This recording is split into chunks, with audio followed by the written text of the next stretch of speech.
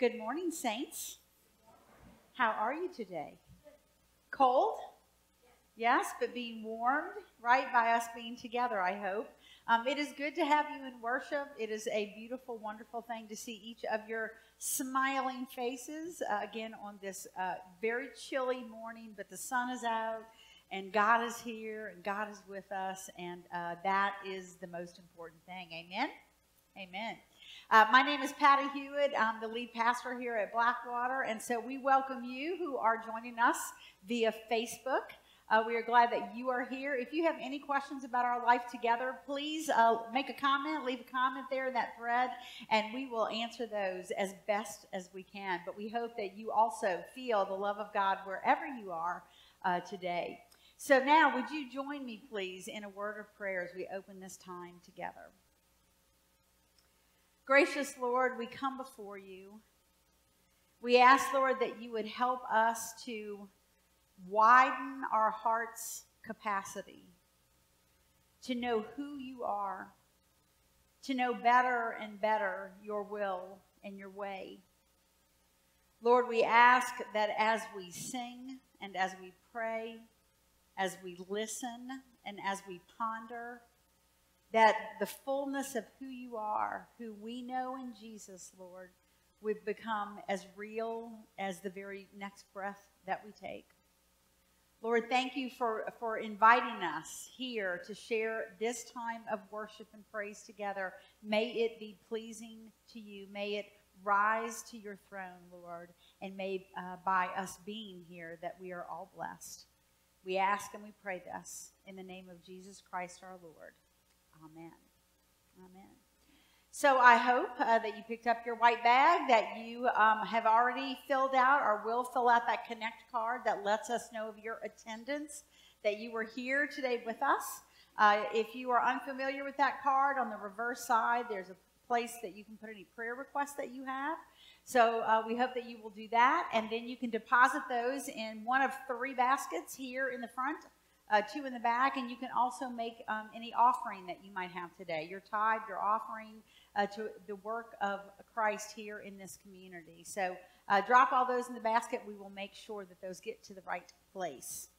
I really only have a couple of things uh, as we share our life together. I know uh, Reverend Angie had lifted up last week in my absence uh, to be on the lookout for some new group experiences that would be uh, available to you uh, come next month, probably. We're going to um, advertise those in the February uh, newsletter, and then they'll be online and everything. But I hope that you will keep a sharp eye for that. There's going to be some Bible studies and a couple of financial peace um, invitations that you can be a part of, a, a few different things. And so um, we hope that you will uh, come alongside and that you will experience these in community with one another. And if you have an idea for a small group or a class or something, please come and talk to Reverend Angie and myself about that because we want to add um, things that are relevant to our life together and things that help us grow in Christ. Um, and tomorrow, uh, in observance of Martin Luther King holiday, uh, we will be closed. Uh, the PDO is closed and the church office is closed. So if you need to get in touch with us, uh, we won't be back here until Wednesday. But many of you know how to get in touch with uh, Reverend Angie and myself if something in an emergency fashion would uh, would come up. Um, but again, we are glad that you are here. We feel very blessed that you are feel. I know I feel very blessed to be back here with you. And so, with that, I'm going to ask you to stand and greet one another by your waves and by your smiles, and make sure that you look up to that camera and greet those who are worshiping with us online.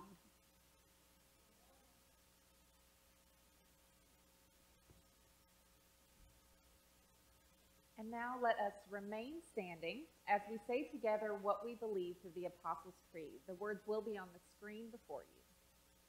I believe in God the Father Almighty, maker of heaven and earth, and in Jesus Christ, his only Son, our Lord, who was conceived by the Holy Spirit, born of the Virgin Mary, suffered under Pontius Pilate, was crucified, dead, and buried. The third day he rose from the dead. He ascended into heaven and sitteth at the right hand of God the Father Almighty. From thence he shall come to judge the quick and the dead. I believe in the Holy Spirit, the holy Catholic Church, the communion of saints, the forgiveness of sins, the resurrection of the body, and the life everlasting. Amen. You can be seated.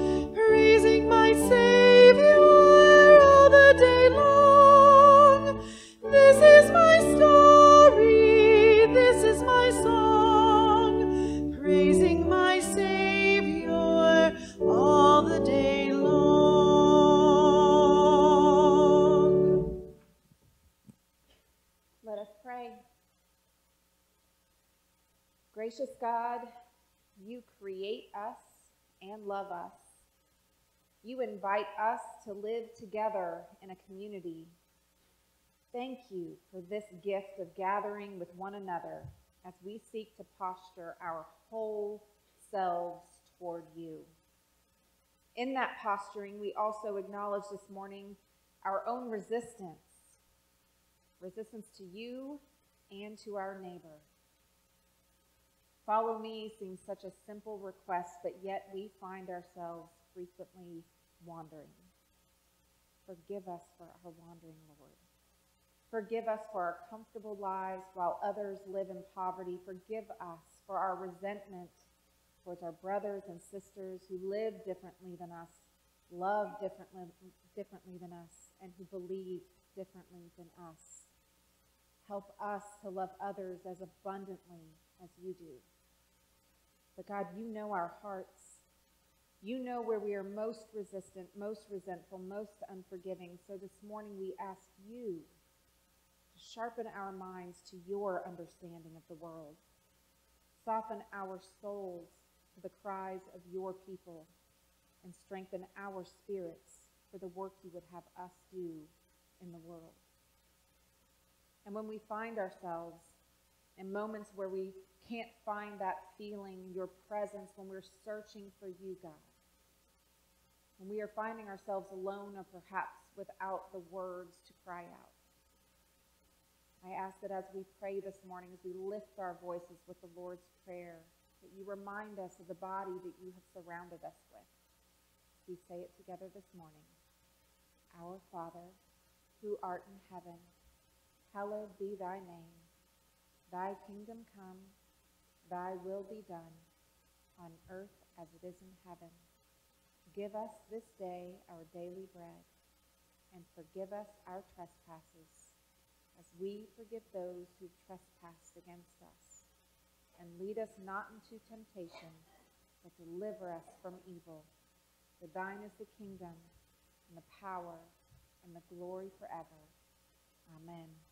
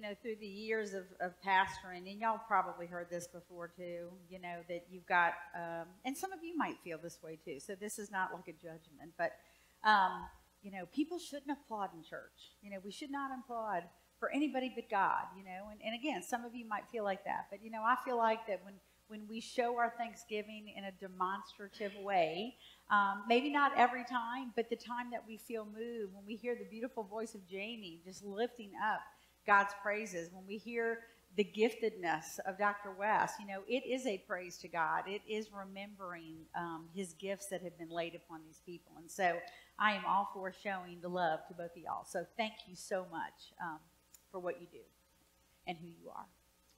Uh, so I want to ask you, uh, this is going to be what you're about to see is from, from almost 50, I can't believe it, years ago. And I want to see if you remember this commercial. Mmm, peanut butter. Mmm, chocolate.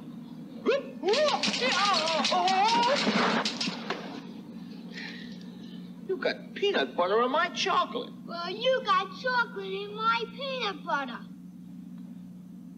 Bravissimo. Two great tastes that taste great together. Reese's Peanut Butter Cup. Real milk chocolate. Good old fashioned peanut butter. Reese's Peanut Butter Cup. Remembers that commercial? I know I don't want to hear from you or you or even you back there in the back. I don't want to hear from y'all that don't remember that, okay? Because we, the elders of the church, right, remember that commercial, right? In 1970, no, 1917, excuse me, Harry Reese um, saw this advertisement uh, to go to work in a uh, in a dairy, a farmland dairy that was owned by none other than Milton Hershey, owner of Hershey's Chocolate Company, right? He worked on that farm for several years and he kept learning how they did things and learning the business of dairy work. And then they moved him over to the chocolate factory side. And he learned more and more about that, kept being filled with more and more knowledge until one day he said, You know, I could do this. I could do this. I could have my own company. And so from his basement, he started making, a, a, of course, a lot of different kinds of candy, but especially this, what he called then two names uh, were applied to this candy. One was peanut butter cups, but the other ones were called penny cups because each of those round confections cost a penny, right? And he would do that. And as we say, the rest is history, right? That he would do it. He would not come to the full reality of this uh, if you want to say calling or this occupation or this endearment that he had with making this, you know, confections uh, for the world. Um, but it would not happen overnight. It would happen little by little as he gained more knowledge and as he gained uh, more confidence about how to go out and do that work in the world.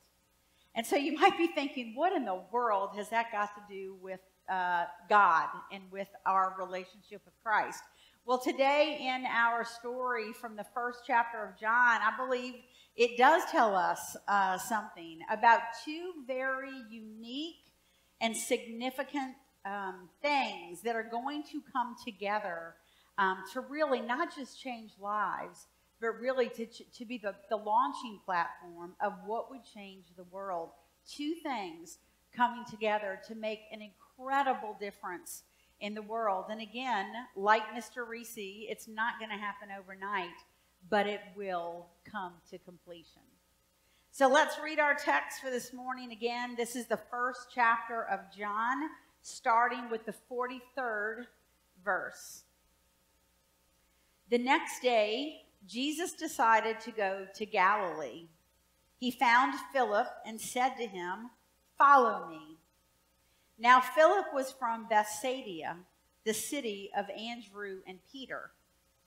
Philip found Nathanael and said to him, we have found him about whom Moses in the law and also the prophets wrote Jesus, son of Joseph from Nazareth.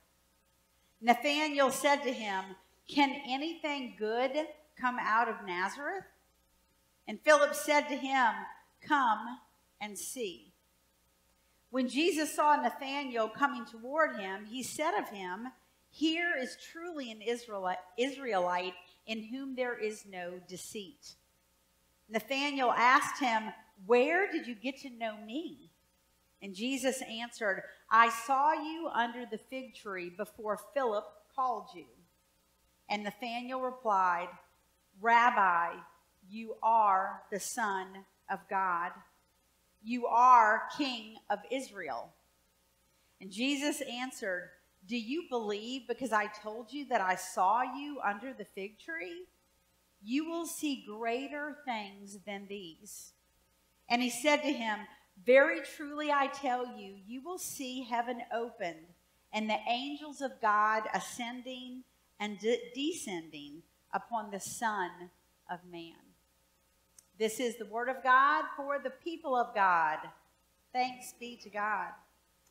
So, this is one of the call stories, what's called the call stories in the Gospels. And all the Gospels have a, a variation of some of these calls that, um, that the disciples heard the voice of Jesus or saw Jesus, some kind of way encountered Jesus, and they began following as disciples. And while um, this story might look like it focuses on Philip and Nathanael, really the focus is on Jesus. The focus is on Jesus and how he is revealed and what he reveals to both of these really green followers of his uh, from these very beginning stages. Jesus is revealing to them who he is and what he came into the world to be and to do and to accomplish. So, the first of the two strands, I told you before that this story had two specific things coming together. The first of those strands that John writes about is divine revelation. Divine revelation. And when we talk about revelation as believers um, in the church, you know, divine meaning of God, right? Something beyond humanity. But revelation, think about it like this it's like a veil in a sense, being lifted off of something that is very sacred to where we will be able to see it for what it is. So, a lot of times uh, people will look at Revelation and wonder, okay, now I know that's a book of the Bible, but what does it really mean? So, think about it like that. It's, it's like God taking off a veil off of, of something or someone, very sacred learning that He's allowing us to peer at, to gaze at, to finally lay our eyes upon. In this text, Jesus says very little about himself, if, if, really he says anything at all, which I think is remarkable. He doesn't say, Here I am, I'm the king of Israel. He doesn't say, Here I am, I am the Messiah. He will say things like that, but in this story, he does not. This is the very beginning of his ministry, and he does not say um, anything to them about this, but yet they bestow upon him titles. And so we hear Philip and Nathanael say, say this and call him this Rabbi, Son of God, and the King of Israel. How is that? When Jesus has not said that himself, how do they know that? It is by revelation, it is by divine revelation. And if we were to look back at the chapter previous, not the chapter, but the verses previous to these verses, we would find others that would call him the Lamb of God. They would call him the one who baptizes with the Holy Spirit or Messiah. All these titles give us a glimpse into who Jesus is and what Jesus came to do and what Jesus came to bring and how his life will make so much sense as it relates to changing our lives and changing the world.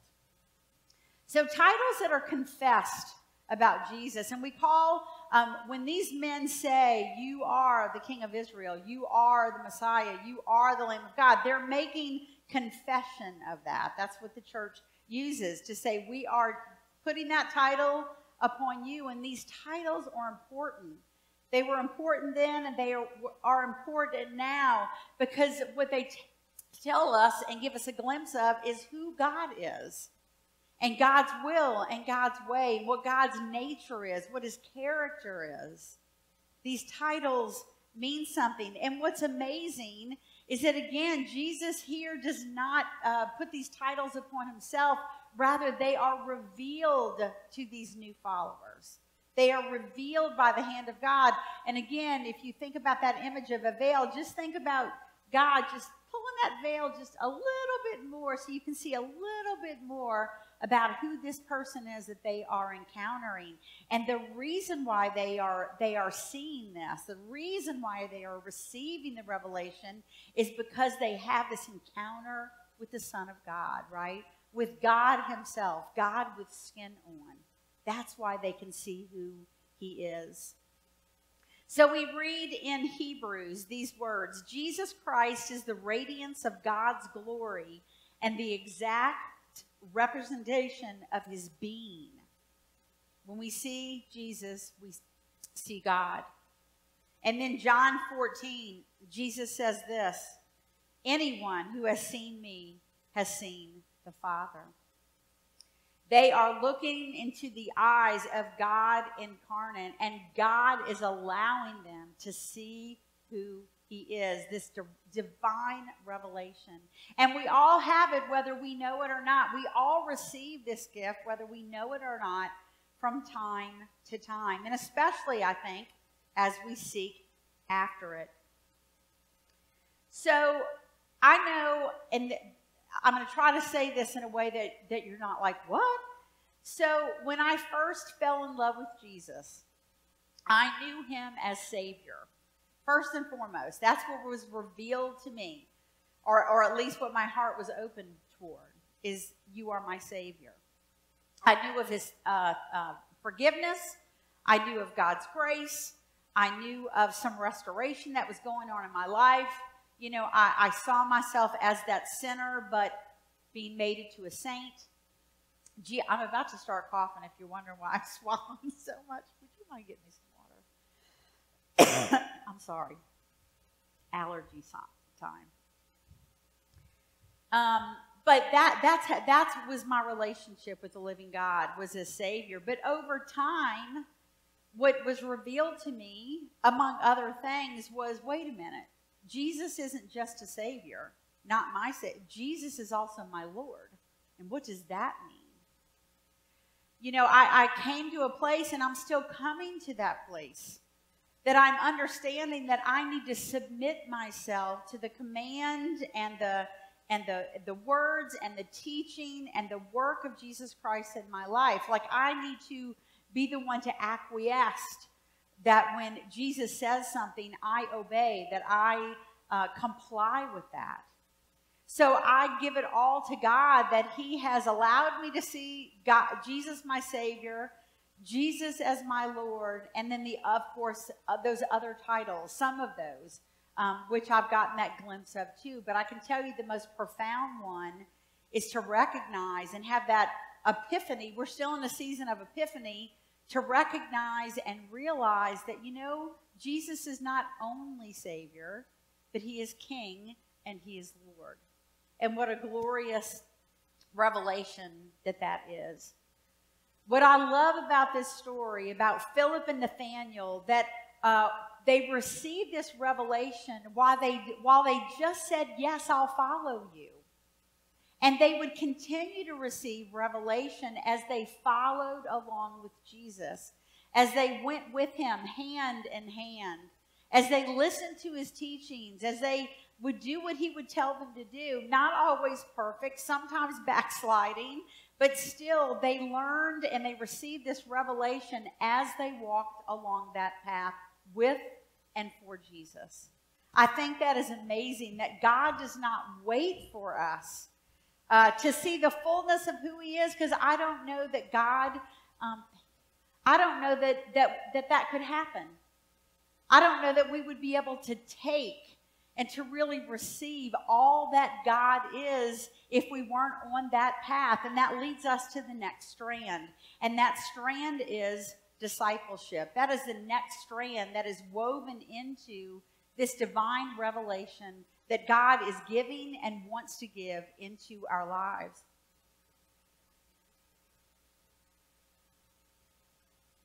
Throughout the journey, throughout their journey here and our journey with Jesus, uh, the Lord uh, gives us what we can handle at any given time. The Lord reveals to us that what He wants to reveal when, when we are at a, a place that we can either receive it, that we are open to just that crack in the door, that we can begin to understand it and live into it, even though we may not be there fully, right? Take Philip, for example. Now, Philip was from Bethsaida. This is going back to the scripture, the city of Andrew and Peter. Philip found Nathanael and said to him, Listen to what Philip says, the first things he says about Jesus. He says, We have found him about whom Moses in the law and also the prophets wrote. There is no king, there is no uh, Lord, there's none of those confessions. He simply recognizes that Jesus sure looks like this one that we have been studying all of our lives. They would have studied the, the scriptures of that day. And he recognizes that this is the one. This is the one to whom the scriptures point to, that the prophets talked about. That's right then, in that moment of time, that is the best and the fullest that he can do, which is great because he's moving toward bigger and greater and deeper understandings of God. And then he also says, Jesus, the son of Joseph from Nazareth. So these two things are the things that he can say concretely about this man, this person that is standing before him, right? It's going to take time. It's going to take walking in this way of discipleship for him to discover more and more about who God is. And going back to that Reese commercial, right? It usually doesn't happen overnight. It's usually a progression.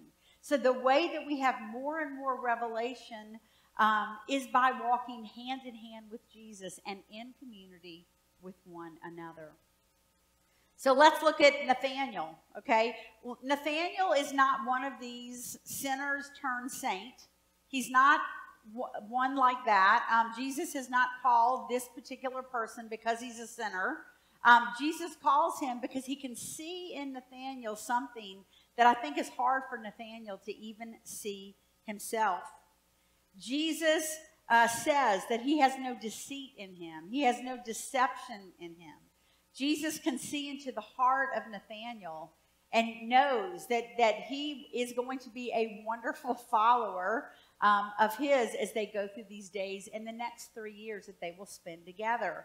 And if you remember, Jesus says this He assures Nathanael will see greater things. Remember in the scripture, he said, You are going to see greater things. You thought this was good. You thought just because I saw you under the fig tree um, that I know you, oh, you are going to see greater things. Now, while that can mean a whole lot of different things, I think what he's might be telling Nathanael is your faith is going to continue to come alive. You are going to be shown more and more revelation as we go along this journey together. God is going to continue to, to remove that veil a little bit at a time to show you his glory, to show you his way, to show you his love, to show you his discipline, to show you all the things that you need to build a solid life with God. I think that's what maybe he was telling Nathanael. The practice of discipleship will aid Philip and Nathanael, right? Uh, it will help them to more fully open their hearts and their minds to what God is doing in the world, uh, what Jesus is there to bring into their lives. Um, a, a, path of discipleship, and and most of us, I would think, would know something about what that is in our discipleship, that, that includes a whole lot of things. Uh, of course, it includes prayer, it includes the study of Scripture, it includes being together, it includes holding one another accountable, it includes inquiring to each other, How is your life with God? and then helping us to correct places on the journey that we've gotten off the path. Uh, a path of discipleship means that we're going to that we're being uh, more and more generous. We're learning what that means in every single way. that we serve, that we sacrifice, all of those things they are going to be doing with Jesus as they follow him. And hence, God will continue to reveal to them more fully who Jesus is. It's this partnership. It's this hand in hand walk. It's this, these two strands that come together to make a powerful, powerful change in our lives. This back and forth, this in and out, this under and over will not just change Philip and Nathanael's life, not just change those other disciples who were called, right? Matthew and Bartholomew and all the other ones, but they change us as well. Divine revelation and discipleship. So, did you notice how much finding that there was in this part of the text? If you were to read from pretty much the beginning of First John, you would also see that there's a whole lot of finding going on. Jesus finds Philip, Philip finds Nathanael. Philip then tells Nathanael that he's found the one, right? And then Nathanael finds that Jesus knows more about him than he could ever imagine. There's a whole lot of finding going on, which is a good thing, right? And when I look in our world today, there's a lot of finding that needs to continue to happen because this world is lost. Some of us, and in, even in our um, desire to please and love God, there might be places that you are lost today as well, right? We're not just here to find people out there, but we are also here to allow God to continue to find us, to find us, to show Him who He is, and continue to show us that light, show us the way that we are walking more humbly and obediently and steadfastly with Jesus. Right now, some may be still lost in the pandemic. You may be lost in intense division, lost with a resort to violence, lost in a weariness to injustice and bias, and so much more. A good friend of mine uh, who owns a beauty salon, uh, I had a conversation with her not too long ago. She had about eight employees, and it was her shop. She said that seven of them walked out on the same day and left that work, left her business to struggle because she didn't vote the way they voted. Talk about being lost. Talk about being out there just doing the wrong thing for the wrong reason. And I asked her, I said, Did y'all have a fight? She said, No. But they, they knew, and they all worked together to try to hurt the business such lostness, and this lostness is throughout this world. But here's the good news, right? That in this story, Philip and Nathanael, and then later other disciples that include you and me, we have encountered the one whose job it is to find the lost, right? Again, not just out there, but in here, and really the way we should be working hand in hand with Jesus in here in our own lives.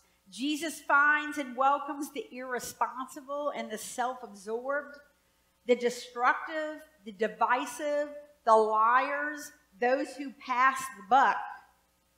Jesus finds the prideful and the one that you consider the pain in the rump. Jesus finds people pleasers and the unethical clergy persons. He finds those who, who hold grudges and won't let them go. The mother who has that unbridled temper, and the father whose priorities are out of order. That's the good news, is that Jesus has come for us.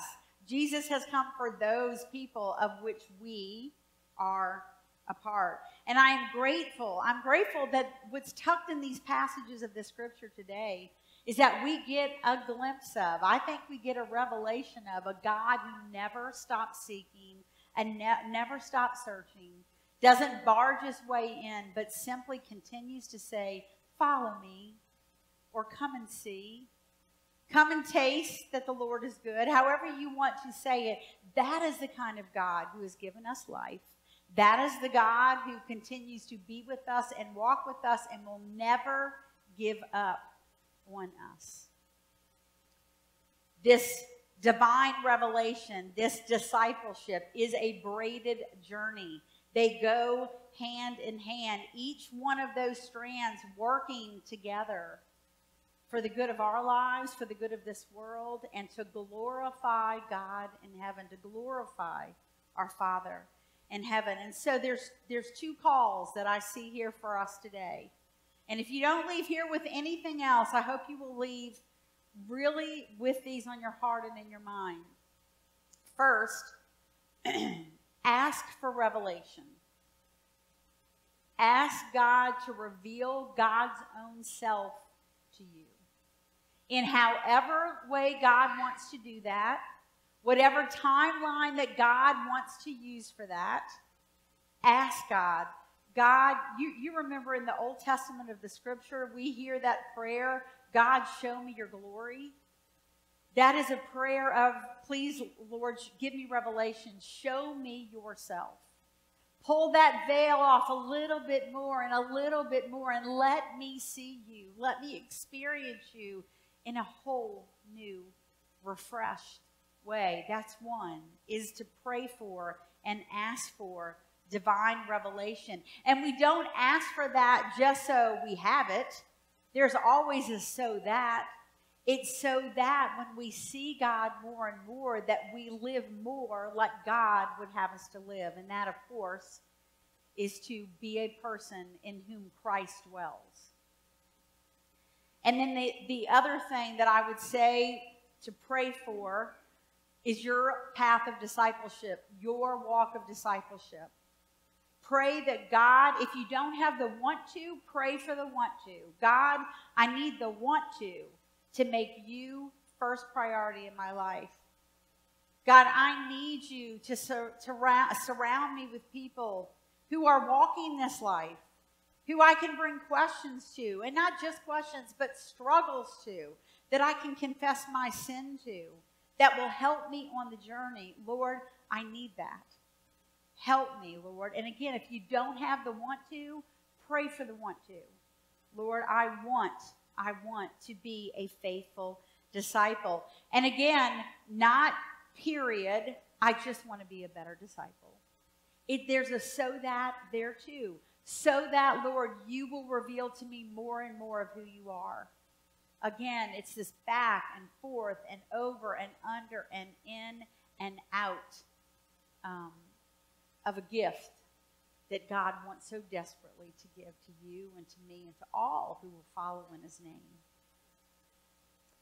Through the prophet Jeremiah, God extends this beautiful, glorious invitation. And so I read those words from Jeremiah 33, verse 3. Call to me, God said, and I will answer you and show you great and mighty things fenced in and hidden, which you do not know. Praise be to God. Glory to be to God in the highest. Let us pray.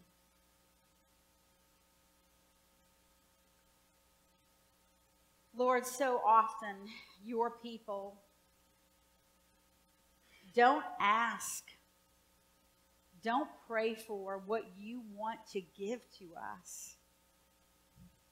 And yet, Lord, you still give, you still unveil, you still show us revelation. But Lord, how much sweeter and deeper and wider would that be if we sincerely ask for that?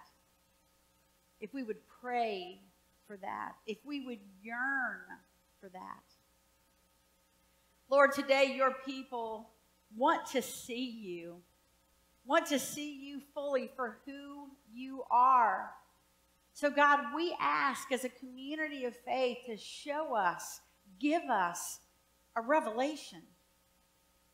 Lord, we ask that that veil um, that, that is not keeping things completely in the dark, but yet hidden enough that, that we can't see the fullness of who you are.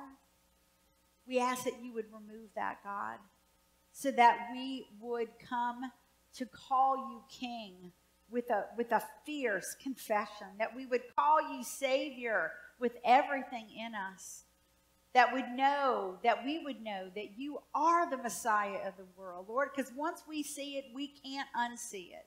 So, Lord, give us a revelation. And Lord, I ask for myself and for my brothers and sisters, God, that you would help to strengthen our discipleship, that you would help us to walk faithfully with you, and that you would help us to, to lay down all the things that we put that are stumbling blocks, Lord, in, in, in really having that, that full and lively, beautiful relationship with you. Lord, put people in our lives that will help us grow. Give us faith, Lord, to, to, to know and to see next steps on this path, Lord. This and so much more we lift to you this morning in the name of Christ our Lord. And the people of God said, Amen. Amen. So, as we prepare to uh, leave this place having shared together, um, our closing hymn is going to be one that I hope is familiar to you. If not, you're going to learn a beautiful hymn that fits so perfectly uh, with uh, this scripture and with this theme. Softly and tenderly, Jesus is calling. So please stand. Uh, remember, you are welcome to sing. Uh, if you do that, please put your mask back on and sing softly as Jesus calls to you softly.